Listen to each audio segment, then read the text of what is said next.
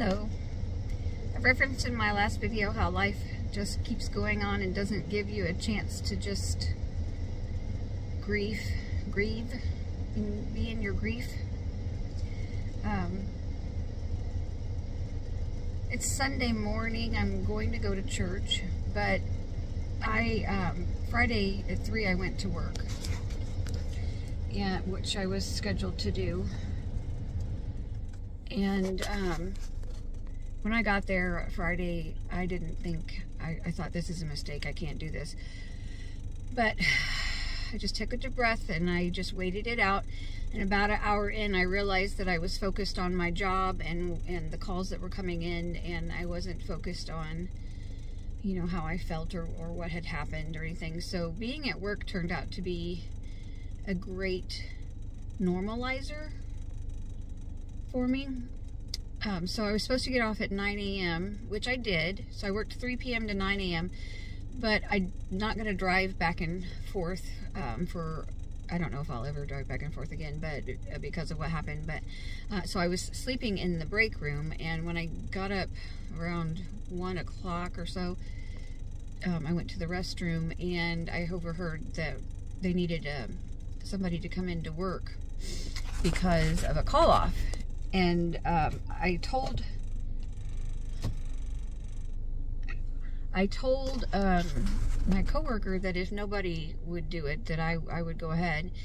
Um, but I needed a little more sleep. So I ended up working from, I think it was 4.30, yeah, 4.30 um, Saturday till 9 a.m. this morning. So another 17 hour shift. So I'm tired. I'm very tired and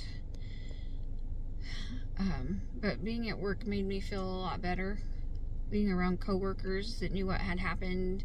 Some of them didn't know what had happened, which was amazing to me. So anyway, I am off to church. Where am I?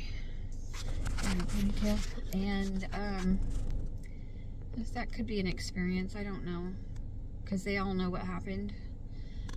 So we'll see. Um, oh, I don't know if I mentioned it or not, but I learned Friday afternoon that they had donated the organs of the um, gentleman. And somehow that gave me some peace as well, knowing that that his life would go on in a way. I'm counting, um, counting this as a. Um, I don't know what I'm counting this, but I just pray for you and for myself um, the peace that passes understanding and the just I pray for the Lord's blessings that he wants for you that you receive and for myself as well and I pray for his will to be done in all things in all ways in all places in all times and that with the knowledge of Romans 8:28 helps me to know that everything happens for a reason and no, I don't understand, but I trust and believe that there's a greater purpose to um, what happens. Take care, and I'll see you again as soon as I can. Bye.